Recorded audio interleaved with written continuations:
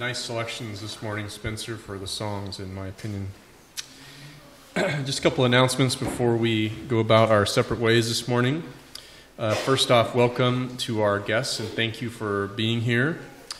Um, if you are visiting with us, there are these blue cards in the um, seats in front of you. Please uh, fill those out. We just want a record of your attendance, please.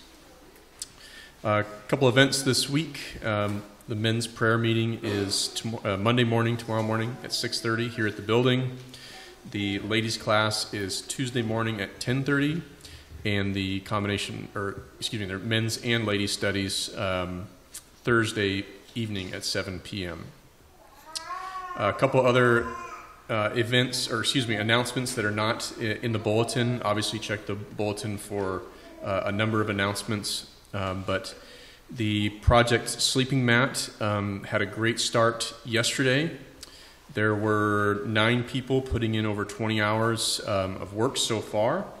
They are looking forward to um, finishing the first of many of these sleeping mats, and this is an ongoing ministry. And I believe if you're interested in this, uh, Marcia, okay, um, if you're interested in helping out with that.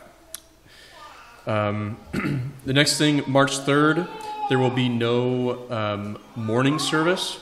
Um, if I get this wrong, Dave, please correct me, but there will be no morning service uh, Sunday, March 3rd. There will be an evening service um, here at the building, and following will be pizza. Is that correct? Okay. I want to make sure I got that correct. Correct. So please mark your calendars, March 3rd, uh, evening service only.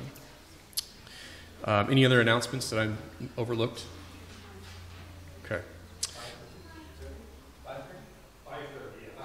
Five, five thirty, March third. Got it.